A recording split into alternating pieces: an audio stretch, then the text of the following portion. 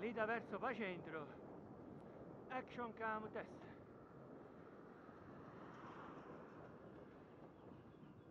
Giornata splendida. Neanche una nuvola. 29 gradi. Si procede. A 14 km l'ora 14,3 bella salita.